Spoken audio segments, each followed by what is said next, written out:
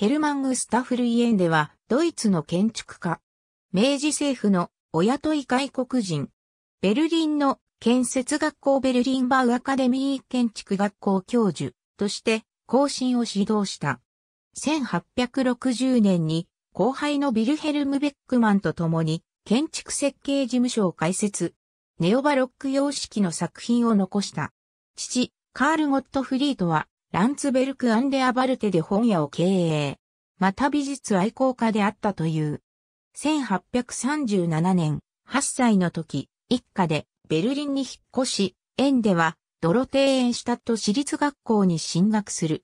1841年から1846年までは、ベルリンのケルンギムナジウムで学ぶ。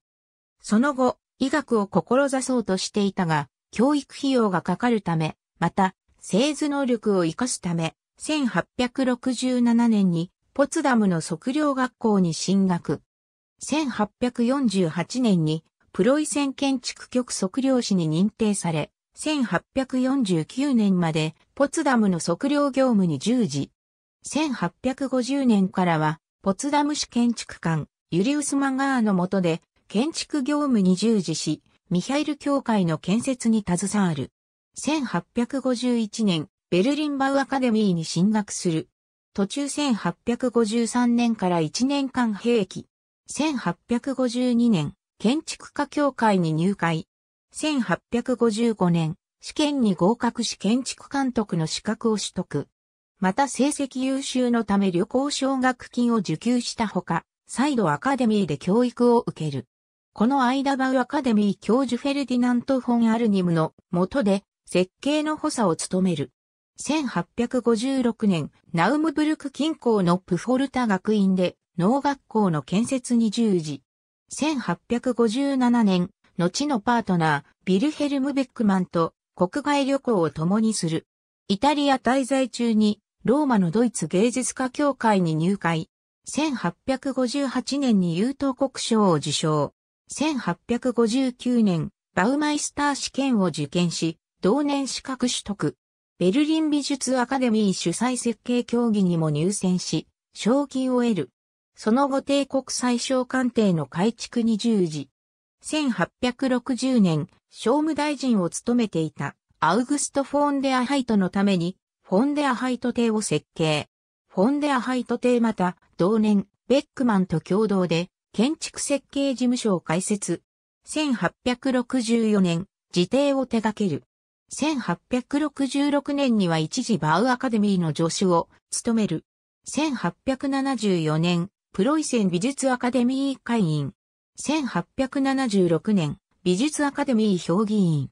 1878年、バウアカデミー教授就任。プロイセン技術建築局役員。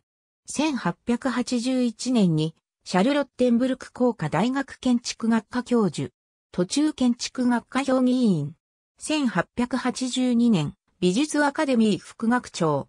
1883年、プロイセン技術建築局建設並建築アカデミー建築部長。1886年からは、工科大学のほか美術アカデミーでも講義を持ち、教師兼務。さらにこの年開設のマイスターアトリエ建築コースの教授に就任。1895年、美術アカデミー学長。1896年には建築設計事務所を閉じる。1897年には、工科大学教授を退官。1907年、永民。遺言により、基金が設立され、工科大学学生に奨学金支給がなされる。日本の外務大臣、井上薫は、西洋式の建築による首都計画により、近代国家としての体制を整えようとしており、1887年、エンデベックマン事務所と日本政府は契約を結んだ。ベックマン、エンデ、書院のヘルマン・ムテジュース、リヒャルト・ゼール、カルロス・チーゼ技師、ブリーグレップ博士、ジェームス・ホープレヒトら総勢12名が来日し、計画に関わった。まずベックマンらが来日し、都市計画などの案を作成した。当初の計画では、日比谷、霞ヶ関付近に、議事堂、中央官庁などを集中して建築する壮大な都市、計画案であったが、後に縮小された。円では、ベルリンで作成した設計図をもって、翌1887年に来日した。奈良や京都などの社寺も見学して、同年帰国した。旧司法省庁舎、円での帰国後間もなく、井上が条約改正の失敗により失脚したことで、官庁集中計画は破棄された。議事堂、司法省、裁判所の3棟については、設計が続けられたが、結局、1890年には、エンデベックマンに契約解除が通告された。